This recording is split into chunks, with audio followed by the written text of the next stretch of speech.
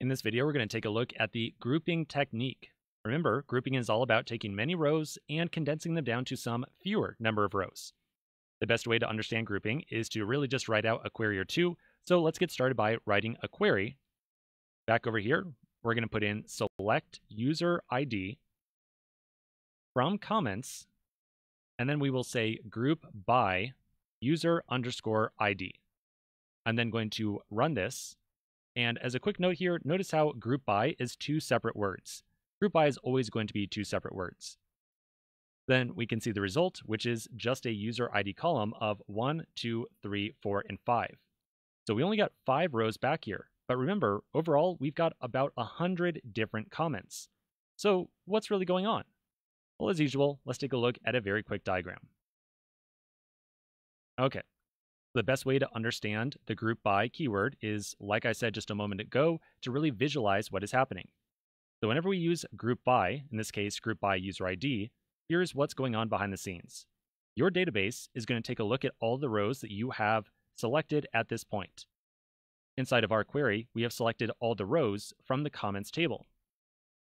Your database is going to go through all those different rows. It's going to find the user ID column and it's going to try to find all the unique values inside that column. If you look at the values inside this column right here, the unique values are 1, 2, 3, and 5. Those are the only values that occur inside this column. There's no 4s. After finding all the different unique user IDs, your database is then going to take each of these different rows and assign it to a different group based upon that row's user ID. Now, once again, just stating the stuff in text, not super helpful. So again, let's look at a bigger diagram to really picture this entire process. Okay, so over here on the right-hand side, we're going to imagine that this is where the grouping is taking place. We once again, very similar to all that join stuff, can kind of imagine that we are getting a very temporary imaginary table created inside the database.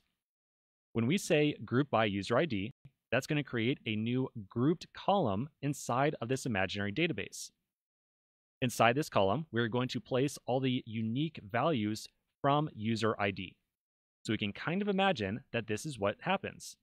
We can kind of imagine that we get a number of rows inside of here, and each one is going to contain a unique user ID from the table.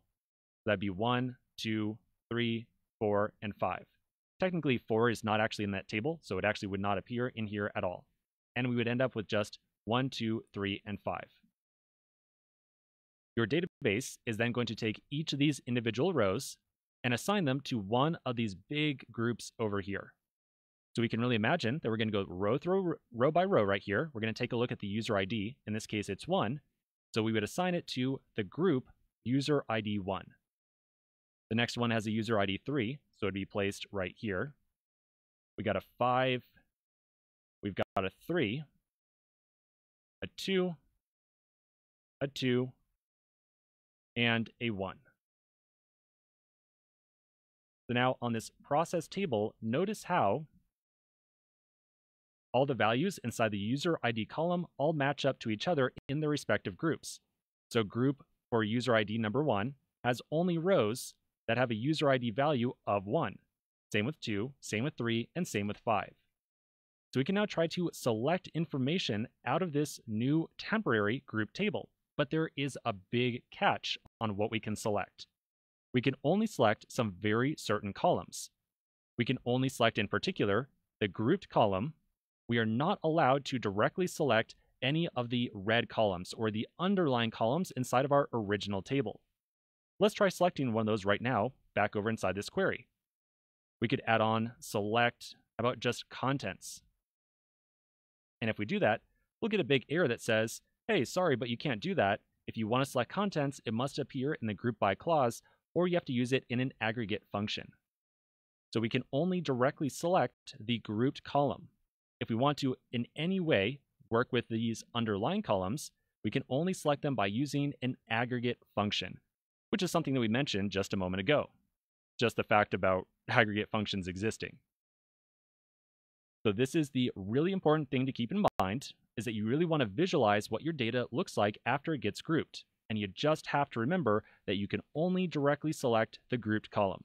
I can't tell you the number of errors that you might run into in the future because you try to select one of these subcolumns, like ID contents or user ID, and again, you're going to end up with an error like what you see right here. Okay, so at this point in time, our example of grouping by user ID isn't super useful until we also introduce another topic, which is those aggregate functions. So let's take a look at aggregate functions in the next video, and then we're going to kind of mash together the idea of grouping records and aggregate functions, and then we're going to be able to run some really interesting queries.